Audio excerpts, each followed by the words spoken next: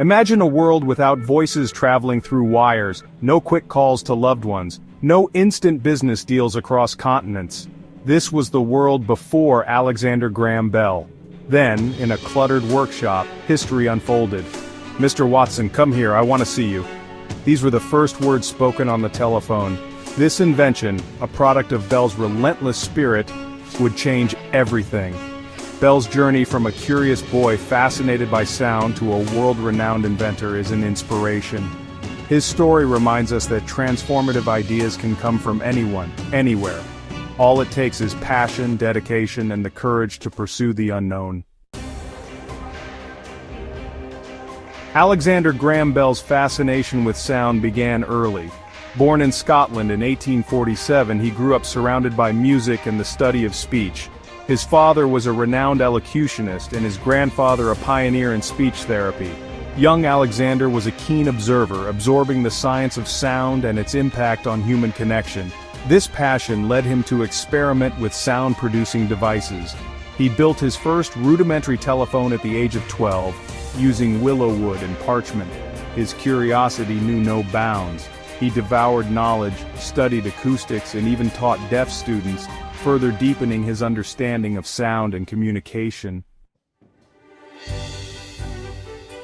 Bell's relentless pursuit of transmitting sound led him to his groundbreaking invention. He envisioned a device that could carry the human voice over wires, something considered impossible at the time.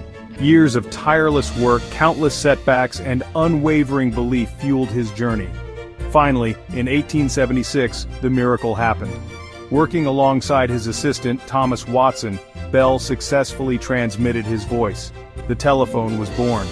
This pivotal moment marked a turning point in history, ushering in a new era of instant communication. Beyond the telephone. A legacy of innovation. While the telephone remains his most famous invention, Bell's genius extended far beyond a single device. He was a true visionary, constantly exploring new frontiers and pushing the boundaries of what was possible. His innovative spirit led him to contribute to fields as diverse as aviation and medicine. He invented the photophone, a device that transmitted sound on beams of light, a precursor to fiber optics. He dabbled in aviation, designing kites and making significant contributions to early aircraft development. He even created a metal detector to locate a bullet lodged in President Garfield's body. Bell's echo in the digital age.